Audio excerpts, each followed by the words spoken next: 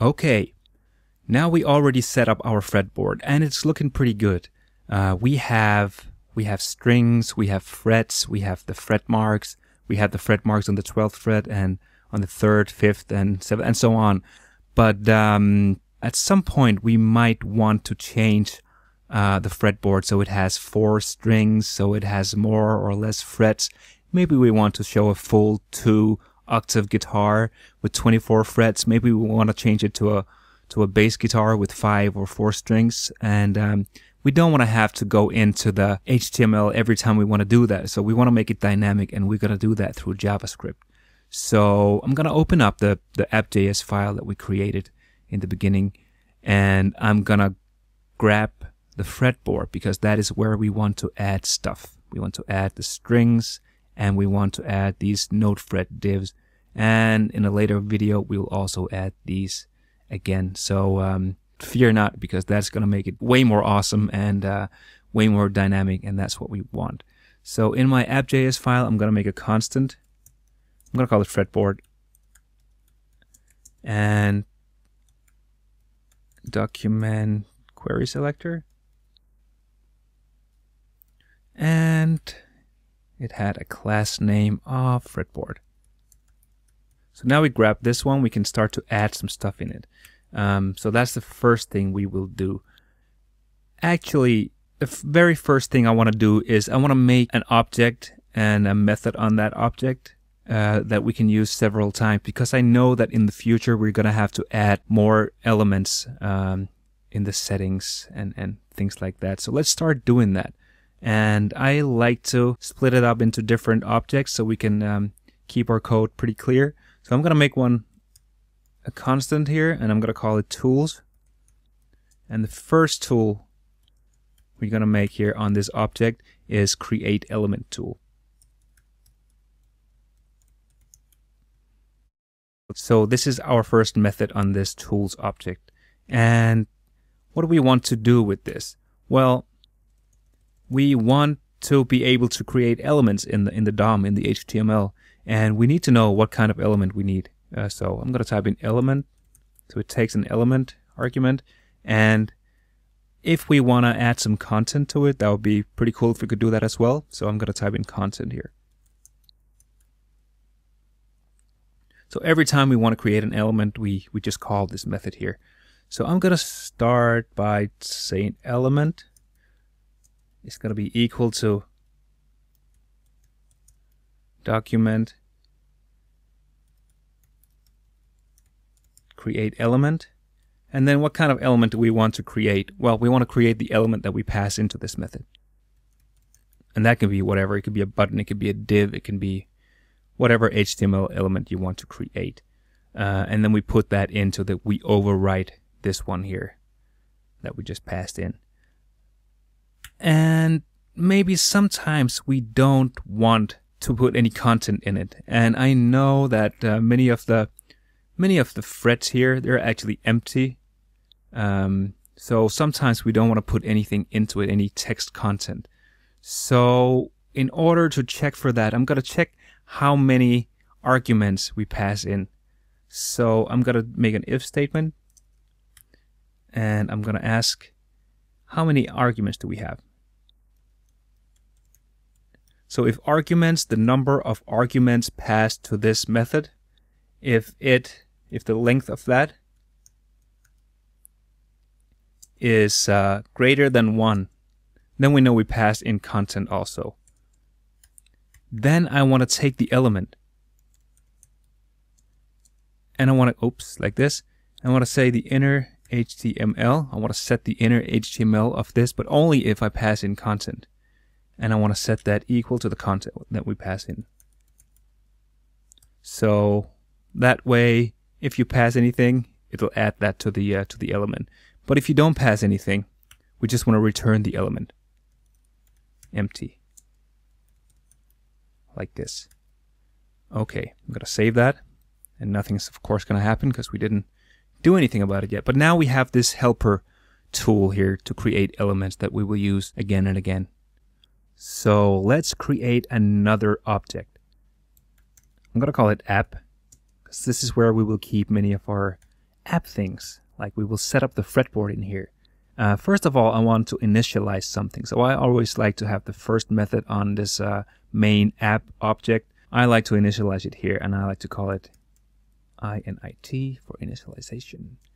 And this is where we can call some things. It's going to be empty uh, right now, but um, later on we'll add something to it. The next method I want to add here is going to be called setup fretboard. And uh, this is where we're going to set up the fretboard. Before we can do that though, we need some variables. We need to know something. We need to know how many strings and we need to know how many frets we want to create on this fretboard.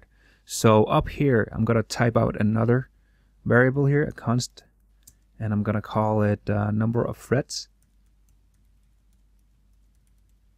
Let's set it equal to 12 to begin with.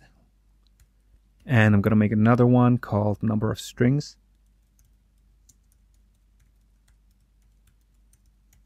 And set that equal to 6. Because that's what we already have. I'm going to save that. Nothing's going to happen. Then I can go back here to set up fretboard. And um, first I want to add strings to fretboard. So I'm going to type that out.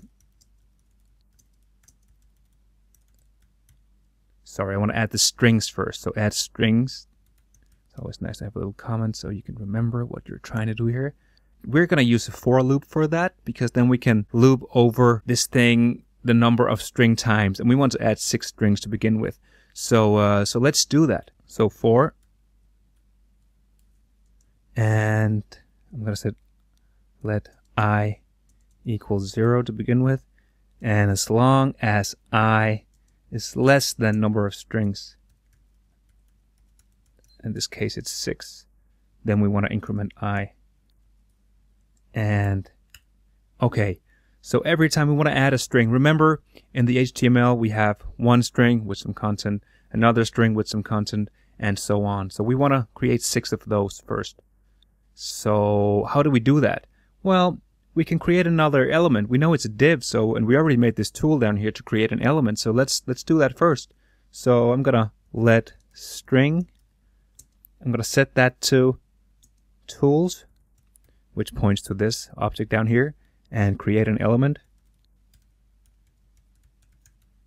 And we're going to pass in only one argument because we only want a div to begin with. We don't want any text content in that div. So now it's going to create a div element for us, or actually six of them. And then I am going to add a class name to this one. So I'm going to take the string that we just created and I'm to call class list. And then we're to add something to that class list. And I want to add the class string because it has a class of string here. So for every single one of these divs that we're creating, we're going to add the class string. And after that, I want to append it to the fretboard. So we're going to grab the fretboard that we already grabbed up here and uh, fret fretboard and we're going to append child. And what are we going to append? We are going to append the string. So that will take care of of the six strings. So let's just set up the fretboard from here. And I need to type out this because it's on the same object. And let's call it. Okay. Then this is going to call setup fretboard method. And all the way at the bottom, I just want to call the initialization method. So app init like this. If I save that, we should see something weird happening here. And we do because uh, it's adding a lot of uh, new strings to it. And we already have a lot of strings here. Uh, so it's just going to add extra strings if we go in here and we inspect and we have a look at um, this here. You can see that we have lots of strings here. So yeah, it, it's a mess. And we don't need a 12 string guitar. That will be insane. That will be really hard. Uh, so let's not do that at all. So um, we're going to wait with that. I'm not going to clear the HTML here yet because I want to show you guys that inside this for loop, you can see that we have inside each string, we have the amount of frets, a div for every single fret that we set the amount to. And right here, it's static and it's only 12 divs, which means 12 frets. So let's add that. And we need to have a loop inside a loop then. So inside this one here, after we, we append the child string, then we can create another loop here. So I am going to add a comment here so we can remember what we're actually doing. So inside here, we're gonna uh, create frets here. And then inside that, we're going to say for, and let's just call it something that's understandable. So let fret, that's what we're doing. Let's start from zero again. And then we want to see as when fret is less than or equal to number of frets, which we defined up here. Then increment. Like this. Okay? And the reason we want uh, equal to, that's because we have a fret number zero here. So we want to run to, like, if we have 12 right now, we want to make it run 13 times and, and because we start at zero uh, and we have thir- 12 up here, it's going to run, yeah, 13 times. Um, and that's what we want because we want to add the first fret also. So when we have 12 frets, we actually have 13 frets. Uh, so it's always plus one. And inside here, we are going to do kind of the same thing that we did. I'm going to create a new variable. And I'm going to call it note fret because that's what we're going to add. We're going to call the tools again. Create the element here, and we're going to pass in a div. That's it. And then we're going to add a, um, a class to that as well. So we're going to take note fret, class list, add, and we will add the class note fret dash dash fret like this because that's what they're called in here. Okay. And then we want to take the string that we just created up here in the first loop. It's going to take that and we're going to append it